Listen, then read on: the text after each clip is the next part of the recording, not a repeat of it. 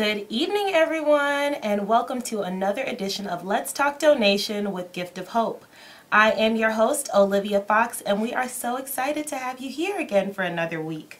Um, this is an interactive call-in show where you can call in and ask myself and any of my expert guests that I have each week featured any questions that you might have about organ and tissue donation.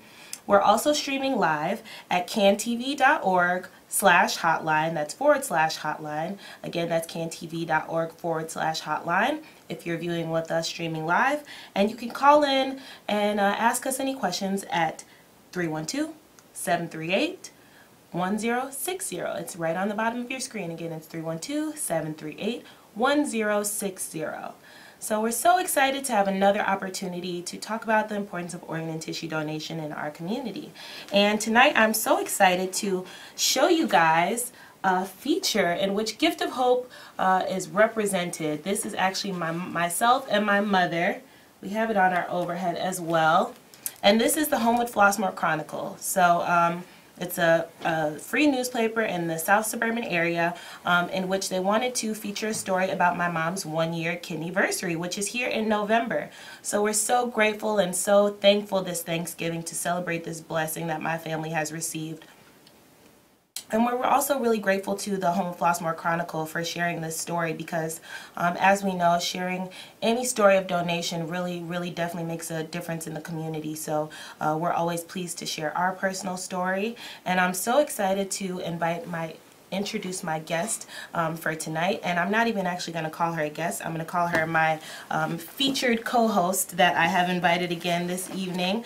Um, and it is my mom Miss Monica Fox. So hey mom Hey, Livy. Thanks for being back again. Thanks for inviting me. We got really good feedback on the first show in which we talked about your story. Um, and we're here this week just to talk a little bit more about that idea of directed donation, which is how you were blessed and how our family was blessed um, with your kidney donation and with your kidney transplant that you received a year ago this month. It is crazy to think about that. Yes, it's been a year. It, it has been such an awesome blessing. year, such a blessing.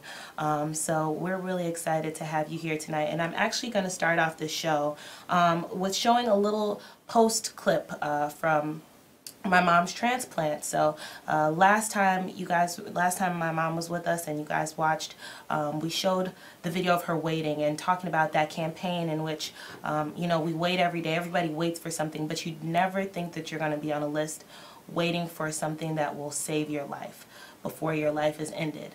Um, so, so I want to take this time to show you guys this video um, produced by Gift of Hope uh, and DD Productions. We are Let's take a look at this. Kidney. Everything went perfectly, absolutely perfectly from start to finish. My, I was in surgery all night from midnight until about 5 a.m. And when I woke up at 11 and they finally took the tube out, the breathing tube, I felt 200% better than ever before. Well, that gives the whole meaning of our work uh, having a patient who recovers uh, so well after surgery and looks so happy, uh, it's uh, basically it cannot uh, explain in any way the feeling that gives to the surgeon and to the doctor. Of course, uh, she was a pretty straightforward case. I'm particularly happy she got it because she's an advocate for organ donation and she got uh, some return from her passion for the field. There's not a word to explain really how I feel. It's just, I feel like I'm going to explode. I'm so excited and I feel so well. And I don't feel like I just had major surgery. That's nobody but God. Nobody but God. And I'm just so grateful. The other, the other thing to note is that because they designated their donation, that's important for everybody to know. If you are in the midst of a trauma, you can say who you want your loved one's organs to go to. That's important to know. And they were so gracious to tell me how much peace and joy it has given them to know that Milton saved my life and that I am doing well and that I'm doing good in the community and I won't stop until those 5,000 people who are waiting on the list for five to seven years in Illinois are no longer waiting. Monica has never met Milton's family before. the family who gave uh, the organ donation to her. And they traveled here from Tennessee to be in this service so that they could meet Monica.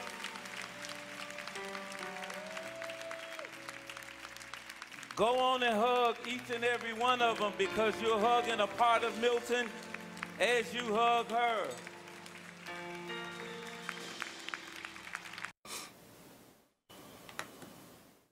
So that was just a little taste of um, an awesome uh, post-transplant video that Gift of Hope did um, to continue to tell my mom's story and to share um, the good news about how this process works and the importance of really sharing your story because that's really how the story of directed donation happened is is that you shared your story everywhere um, thanks to the platform that Gift of Hope gave you. And when someone was in that position they thought about you and they thought about reaching out to you and and directly saving your life um, through organ tissue donation. So um, we're grateful to be able to show that video and we're just uh, so grateful to my mom's donor family um, who so so selflessly gave this gift um, to my mom. So um, yeah. Yeah, it's awesome. Such a blessing, such a blessing to to have received that gift, to have waited um, and waited with hope. Thanks to Gift of Hope, I waited with hope. I always say that. Gift of Hope gave me hope. It gave me something to hold on to, something to do um, that was constructive, that was going to make a difference regarding what I was waiting for. And so raising awareness in this community is what I'm about. And I think that's the mission that God has given to me. In addition, um, now being a post-transplant patient, uh, I've become aware that this is another part of the journey. The journey's not over. So the journey um, began with dialysis, and I became a, an expert on dialysis so treatment. let's so let's stop right there because that's a really great point that we want to kind of focus on tonight. So if any of our viewers are on dialysis have any questions about dialysis have a loved one on dialysis are waiting for a transplant have any questions about the waiting list please call in and ask us any questions about that because as my mom mentioned um, she did during that time become an expert in dialysis. And i think that's an important thing for us to understand is that you are your best advocate you are your number one advocate. So you need to make sure you understand everything that's going on with you. Be an absolute compliant patient so that when that gift and that time comes, you are prepared, that your body is prepared to accept that gift and to really take this second chance at life. So um, please feel free to call in and ask us any questions that you might have about dialysis um, or the waiting list. Um, so can you talk to me a little bit about um, why you felt the need to become an expert um, with dialysis and then with the waiting, with understanding the waiting list and then, you know, even post-transplant. But really just when you were in dialysis, why was that important? And maybe even talking about your background might help under might might help people understand um, how you were able to kind of figure this out.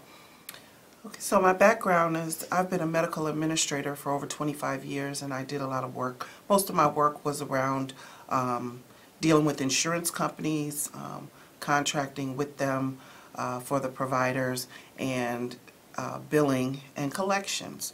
And so I had a real understanding of medical issues mm-hmm. um, with regard to billing and payment and also uh, just by being the family member uh, who was always the, the number one supporter of anyone who was sick or in the hospital um, and interfacing with the doctors in that regard. Um, I just became very knowledgeable and I was comfortable with um, talking about medical issues. Right, because I mean, at the time of your illness, you actually had to leave work. I mean, I don't know if people know or understand, but dialysis, if you're on full time dialysis, it's a, it's a real commitment. So during that time of your illness, you weren't able to work anymore. So you always told me that your health was your job at that time. So correct. So I was yes, I wasn't able to work dialysis. Um, I had to go for four, my treatment time was four hours, three days a week, but that actually takes almost six hours out of your day. Um, if you include the commute and the time that you wait to get hooked up and taken off. So it does take a good portion of the day. Um, and when you, and your, your, um, energy level is variable with regard to dialysis. So very early on, I realized that I had to learn about the machine and what it was doing to my body so that I could control the way that I felt when I left there. Right. And I was fortunate enough to um, be able to talk with the technicians who were controlling the machine, and they helped me to learn about it, as well as my doctor, my nephrologist, um, was very um, instrumental in telling me things that I needed to know about how it affects your body. So it's important peop for people to know that they do have to be their own advocate. You have to speak up about how you feel. You don't have to feel terrible and drained every time you leave dialysis. You can feel, you can have them make some changes to your treatment that will help you to feel better. The other way to control the way you feel is to control what you're putting in your body Thank you. Thank you. is That's is is your nutrition. There's a full-time nutritionist on staff at all the dialysis centers, and they come around and they talk to you about your lab results, and they tell you what you should eat less of and what you should eat more of, and that affects um, the way you're able to function. Because One thing I remember specifically, you had to eat less chocolate. Yes, that was very hard because I love chocolate, and but chocolate it has a lot of phosphorus in it. Okay, okay. And your kidney does not process out phosphorus. Well, your kidney process out processes out phosphorus, but not when it's not working. And dialysis doesn't process out phosphorus properly, well enough. So you have to limit the amount of phosphorus that you take into your body. Okay. So chocolate was something I had to do without. And uh, I'm glad to say that that's one of the benefits of having a transplant now. I can have chocolate if I'd like. Happy Halloween. I got you an almond joy. I'll give it to you later. Thanks. So it's just important to know that you have to be your own advocate. And that's not just with dialysis, that's with all healthcare. And when it all comes down to it, it's all about what we put in our body. Yes. Healthy eating is key. That's what it always comes down to. And so that's important now, post transplant, healthy eating and um, live eating um, a heart healthy diet so that my heart is not having to work too hard to process out all kinds of sodium and things like that. Yeah, and I think the nutrition idea is a great um, thing to think about also in, in thinking about combating these things before they even happen, about being proactive um, so that we don't have things like kidney failure and heart disease. Um, you know, just making sure that we're raising our kids with, you know, a nutritious, healthy lifestyle uh, with organic things and making sure that we're watching our salt and just all the kind of things that we were maybe raised on, reconsidering those and really focusing on more of a healthy lifestyle. And then we would hope that we would be able to prevent people even, you know, having organ failure and needing a transplant. So the nutrition factor is key, um, not only when you're waiting, but even in being proactive about, um, you know, just living a healthy lifestyle. Yes, and it all it all comes back to, um, you know, there are lots of different illnesses that lead to um, the need for a transplant, and organ donation is very necessary. Yes, definitely. But healthy lifestyles also help people to be healthier and therefore be able to be donors, so that every person is not every organ is not transplantable because everyone's not healthy enough. Yes. Um, so it all it all begins with healthy lifestyle. Great. Yeah. So um, now let's talk about you kind of being an expert in understanding the importance of uh, where you were at on the waiting list, and um, maybe we can talk a little bit more about the directed donation and how that worked, and how it's important for us to understand um, that if we know about these stories in our community, know about the stories of our loved ones, when we do find ourselves in a tragic situation you know, we can think of those people around us that are in need and think of really be able to understand how to turn tragedies into a triumph because at the end of the day, we don't have any say in, in these tragedies Right. that happen. And once organ donation becomes a conversation, the tragedy has already happened. So now it's kind of what now? How do we change this, the end of a terrible, terrible story? And organ and tissue donation and transplantation really is the way to do that. Yes. Yes. So, um, I said understanding understanding the list and where you how, how are you listed. well, the, the, the first thing is that you have to be ready for transplant. So we need to understand that sometimes people don't get a transplant because they're not ready, meaning they're not healthy enough. So that begins with, um, if you're waiting on a kidney transplant, that begins with not missing your treatments and following the advice of the nutritionist and doing everything that you can do on your part. Um, part of the process of getting on the list to wait for a transplant is getting tested. So you have to have all of your cancer screening tests done. Um, All of your dental testing. Yes, mammogram and pap smear for women, um, colonoscopy. All of these things have to be done so that they know that your body is free and clear of cancer. Because if you get a transplant and then you are required to take immunosuppressant drugs in order to keep your body from rejecting the organ that you're given, Sure. um, if there's any cancer brewing in your body, it will come up because your immune system is being suppressed. So it's important to do all that testing, to um, work with the transplant team to get everything in place so that you're ready. Now, the wait is five to seven years. Right. While you're waiting, every year you have to keep your tests current. It's a lot of work. Mm-hmm. It. It's a lot of appointments, you know, but you have to you have to do it and you have to keep your you have to keep everything current. I was ready and therefore when that call came, I was able to receive that gift. Great. So it looks like we actually got a caller. So go ahead and put them through. Put them through.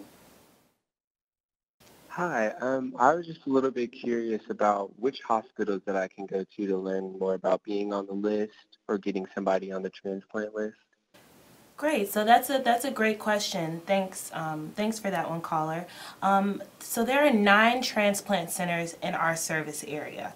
Uh, we are actually in the midst of about four of them right now um, in the medical district. Uh, but maybe you can talk a little bit more about that. But it's through a transplant center that you have to get listed in order to be um, ready and waiting. Yes, and it's important too to understand that each transplant center has a different personality. They have a different focus, um, Yes, different expertise. different expertise. So uh, we're right here in the medical center, as Olivia said.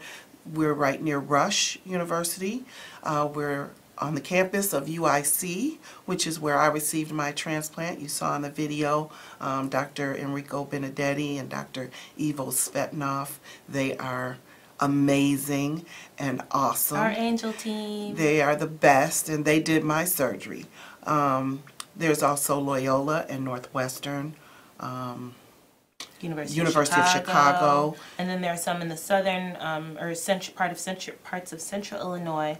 Um, so there are they are all over the state, but you have to be listed with a transplant center, and that is where you get all the testing done, as my mom mentioned. Um, you have to have this testing done. It has to be current every year. So you will be sticking with that one transplant center. Um, there will be a transplant coordinator that you will work with um, all the way through, and that is how you uh, are on the wait list, added to the wait list. right. And so the wait list um, for kidney transplants is based on time. Uh, for other transplants like heart and lung and liver is based on how sick you are. And there are various, various um, levels and measures that they go by. Um, but for kidneys, it's based on time. So it's a long time to wait, five to seven years, and many people die each day. 13 people die waiting for a kidney transplant. Um, but it doesn't have to be that way. You don't die from dialysis. Um, most often, people die from heart failure. because dialysis is very difficult on your heart. And it's important to maintain all your appointments with the cardiologist so that your heart is healthy enough to continue to endure the dialysis for the length of your wait. But I would say just it's really important to share your story. There are so many people waiting. I met a young a young boy, 9 years old on Saturday. He was just adorable and he's on dialysis now. His mother was beautiful and she's doing peritoneal dialysis at home with him. And Nine he's years old. waiting for a transplant at 9 years old. That shouldn't be. There shouldn't be this wait. We need more people to be registered donors. We need more people to say yes to donation. In a time of a tragedy, when a life is lost, another life can be saved. Someone else can live on if you just say yes to donation.